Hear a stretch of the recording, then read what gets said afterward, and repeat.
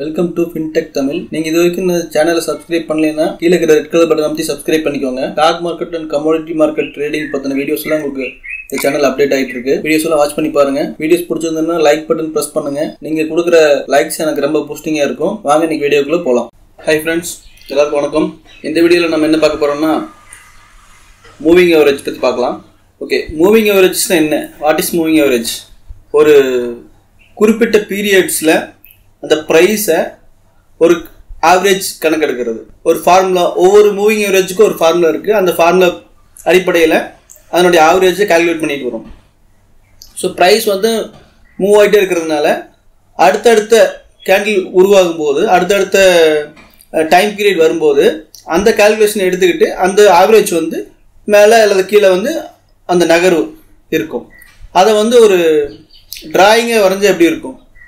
அதுதான் moving average moving average எப்படி இருக்கும் அப்படிங்கிறது பார்க்கலாம் ஃபஸ்ட்டு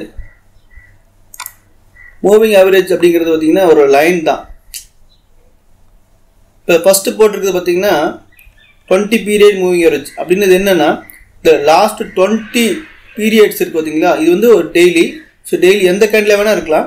இப்போ பீரியட்ஸ் வந்து ஒரு டெய்லியாக இருக்கலாம் இல்லை மந்த்லியாக இருக்கலாம் வீக்லியாக இருக்கலாம் இல்லை இன்டர்டே கேண்டில்ஸாக கூட இருக்கலாம்.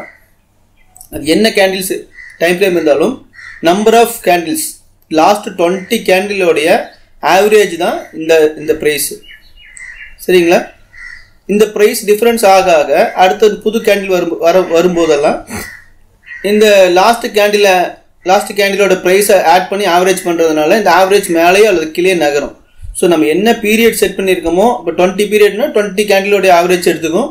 ஃபைவ் பீரியட்ஸ்னால் ஃபைவ் கேண்டிலோட ஆவரேஜ் எடுத்துக்கும்.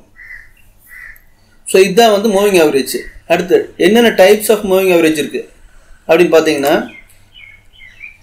மேஜராக பார்த்தீங்கன்னா நிறைய மூவிங் ஆவரேஜ் இருந்தாலும் மேஜராக எல்லாரும் அதிகமாக யூஸ் பண்ணுற மூவிங் ஆவரேஜ் பார்த்தீங்கன்னா மூணு தான். Simple exponential and weighted moving average இதில் இந்த மூணில் அதிகமாக யூஸ் பண்ணுறது எக்ஸ்போனென்ஷியல் அதிகமாக யூஸ் பண்ணுறது எக்ஸ்போனென்ஷியல் தான் யூஸ் பண்ணுவாங்க. பெரிய ட்ரேடர்ஸ் எல்லாமே பார்த்தீங்கன்னா எக்ஸ்போனென்ஷியல் மூவிங் ஆவரேஜ் யூஸ் பண்ணுவாங்க. ஏன்னா அந்த எக்ஸ்போனென்ஷியலோட மூவிங் ஆவரேஜ் வந்து கொஞ்சம் ஷார்ப்பாக ஸ்பீடாக இருக்கும்.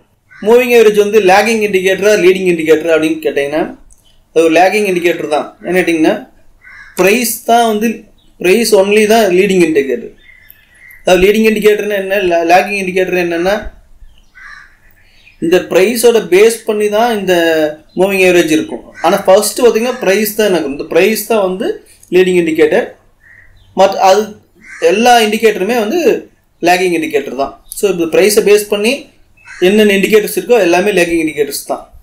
ஸோ மூவிங் ஆவரேஜ் வந்து ஒரு லேக்கிங் இண்டிகேட்டர் தான். What are the uses of moving average இந்த மூவிங் ஆவரேஜ் யூஸ் பண்ணி ஈவன் இது ஒரு லேக்கிங் இண்டிகேட்டர் இருந்தால் கூட மூவிங் ஆவரேஜ் யூஸ் பண்ணி நம்ம வந்து ட்ரெண்டை வந்து ஐடென்டிஃபை பண்ணிடலாம். ஒரு ஸ்ட்ராங்கான ட்ரெண்ட் இருந்தது அப்படின்னா இந்த மூவிங் ஆவரேஜ் வந்து பெரிய பீரியட்ஸ் எல்லாம் கீழே இருக்கும் சின்ன பீரியட்ஸ் எல்லாம் மேலே இருக்கும். ஸோ கிராஸ் ஓவர் ஆகி ஸ்டெடியாக இருந்ததுன்னா ஸ்டெடியாக உங்களுக்கு காட்டும். மூவிங் ஆவரேஜ் இந்த ட்ரெண்டு ஸ்ட்ரென்த்தாக இருக்கும் பட்சத்தில் மூவிங் ஆவரேஜ் டிஃப்ரென்ஸ் வச்சு ஸ்டெடியாக இருக்கும். How to trade using moving average moving average வச்சு எப்படி நம்ம ட்ரேட் பண்ணலாம்?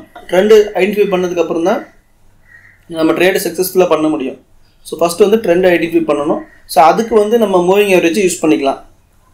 ஒன்ஸ் ஸ்ட்ராங் ட்ரெண்டாக இருக்கும்போது மூவிங் அவரேஜ் வந்து ஸ்மாலர் மூவிங் ஆவரேஜ் வந்து பெரிய மூவிங் ஆவரேஜை கிராஸ் பண்ணி மேலே இருக்கும். முக்கியமான மூவிங் அவரேஜ் பற்றி சொல்கிறேன் நான் வந்து யூஸ் பண்ணுறது இஎம்ஐ டுவெண்ட்டி இந்த EMI fifty and EMI two hundred இந்த மூணு மூவிங் அவரேஜுமே இம்பார்ட்டண்ட்டான மூவிங் அவரேஜ் தான். நிறைய ட்ரேடர்ஸ் வந்து இந்த மூவிங் அவரேஜ் தான் யூஸ் பண்ணுவாங்க.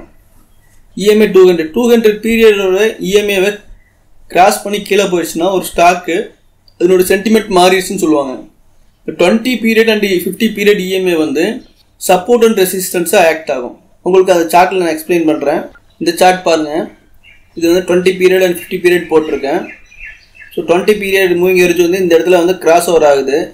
அது கிராஸ் ஓவர் ஆனதுக்கப்புறமேட்டு அந்த டுவெண்ட்டி பீரியட் மூவிங் எரிச்சு வந்து சப்போர்ட்டாக ஆக்ட் பண்ணும்.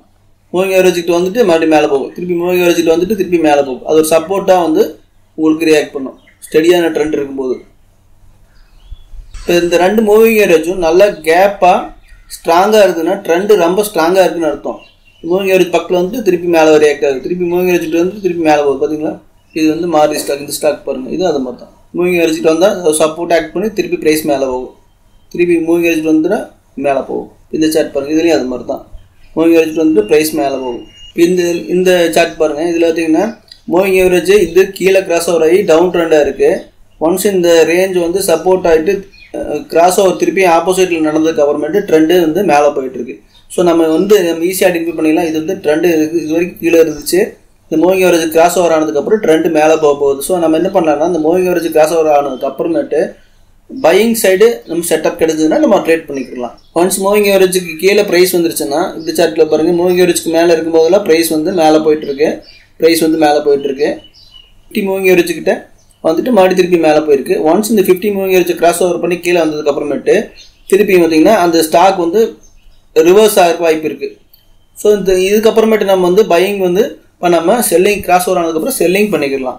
இது பார்த்தீங்கன்னா இன்ட்ரடே சார்ட்டு இன்ட்ரடே சார்ட்லேயும் பார்த்தீங்கன்னா இதுக்கு இந்த இது வரைக்கும் கிராஸ் ஓவர் கீழே இருக்குது செல்லிங் சைடு இருக்குது இதுக்கப்புறம் இந்த மூவிங் ஆவரேஜ் கிராஸ் ஓவர் ஆகிட்டு பையிங் ஆப்பர்ச்சுனிட்டி ட்ரேட் செட்டப் வந்து எடுத்து ட்ரேட் பண்ணிக்கலாம். ஸோ நம்ம இந்த மூவிங் ஆவரேஜ் வந்து ட்ரெண்ட் ஐடென்டிஃபை பண்ணுறதுக்கு ரொம்ப ரொம்ப யூஸ்ஃபுல்லாக இருக்கும். ஓகே இந்த இடத்துல பாருங்கள் இந்த சார்ட் பாருங்கள் இந்த மூவிங் ஆவரேஜ் வந்து இது வந்து டுவெண்ட்டி பீரியட் ஃபிஃப்டி பீரியட் மேலே போடலாம்.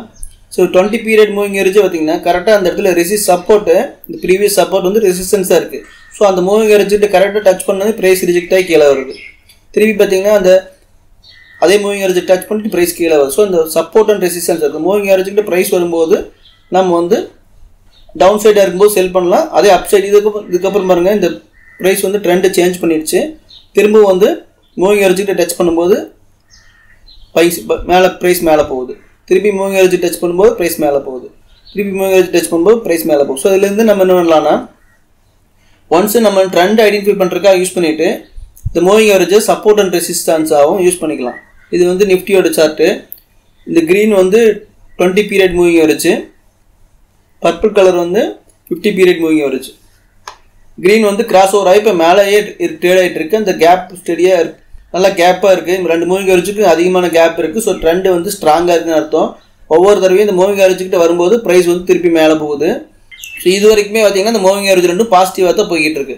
ஸோ இந்த கிட்டத்தட்ட மே மாதத்துலேருந்து இப்போ வரைக்கும் அந்த மூவிங் ஏவரேஜ் பாசிட்டிவாக தான் காட்டுது. இன்ன வரைக்கும் நெகட்டிவாக வரல. ஸோ நம்ம வந்து இது வரைக்கும் ட்ரெண்டு வந்து பாசிட்டிவாக இருக்குது அப்படின்னு சொல்லி நம்ம ட்ரேட் பண்ணிக்கலாம். பைக் சைடு ட்ரேட் பண்ணிக்கலாம். இதே மூவிங் ஏவரேஜ் கிராஸ் ஓவர் ஆகிட்டு டவுன் சைடு வரும்போது நம்ம வந்து பையிங் பண்ணாமல் செல்லிங் சைடு வந்து நம்ம ட்ரேட் பண்ணிக்கலாம். ஸோ இதான் வந்து மூவிங் ஏவரேஜோட முக்கியமான வேலை. ட்ரெண்ட் ஐடென்டிஃபை பண்ணிக்கலாம். அதனுடைய அது வந்து சப்போர்ட் அண்ட் ரெசிஸ்டன்ஸாகவும் ஆக்ட் பண்ணும். ஸோ இந்த ரெண்டு விஷயத்த இந்த மூவிங் ஏவரேஜ் பண்ணுது. இதுக்கப்புறம் நம்ம ட்ரேட் செட்டப் வந்து ப்ரைஸ் ஆக்ஷன் பேஸில் எடுத்துக்கலாம். நான் உங்களுக்கு ஏற்கனவே ஒரு ட்ரேடிங் செட்டப் வீடியோ போட்டிருக்கேன். ஸோ இதுதான் மூவிங் ஏவரேஜோட யூஸு இந்த வீடியோ பிடிச்சிருந்தனா லைக் பண்ணுங்கள் கமெண்ட் பண்ணுங்கள் ஷேர் பண்ணுங்கள் நன்றி.